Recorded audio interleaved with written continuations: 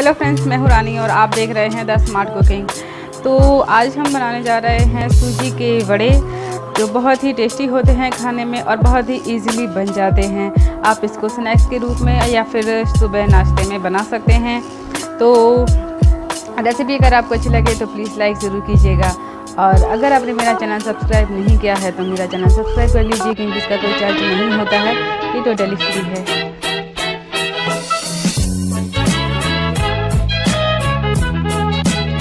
तो सूजी के बड़े बनाने के लिए हमें चाहिए। यहाँ पर हमने एक कप सूजी ले ली है। आप मोटी या पतली दोनों तरह की सूजी ले सकते हैं और तीन चौथाई कप हमें चाहिए दही, दो हरी मिर्च चाहिए और हरा धनिया चाहिए, दो बड़े चम्मच। एक छोटे चम्मच से थोड़ा सा कम नमक चाहिए और एक प्याज चाहिए। इसको हमने बारीक बारीक काट लिया है। एक चौथाई चम्मच से थोड़ा सा कम सोडा चाहिए, बेकिंग सोडा। और एक इंच का अदरक का टुकड़ा लिया है। इसको हमने कद्दूकस कर लिया है और रिफाइंड ऑयल चाहिए हमें इसको फ्राई करने के लिए। तो चलिए बनाना शुरू करते हैं। सबसे पहले हम इसमें डाल देंगे दही और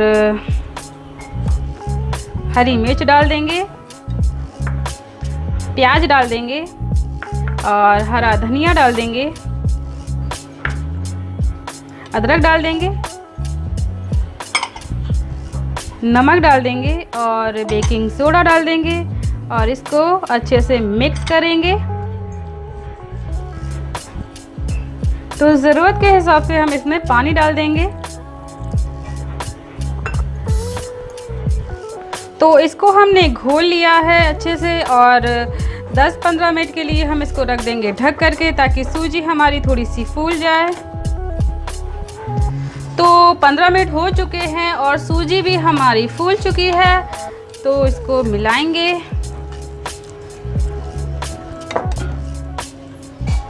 तो तेल को हम गरम करने के लिए रख देंगे और तो इतना डो हम अपने हाथ पर लेंगे इस तरह से और इसको गोल कर लेंगे इस तरह से और बीच में हम कर लेंगे एक छेद होल इस तरह से। और इसको आराम से तेल में छोड़ देंगे। तो तेल हमारा गर्म हो चुका है और इसको हम आराम से तेल में इस तरह से छोड़ देंगे।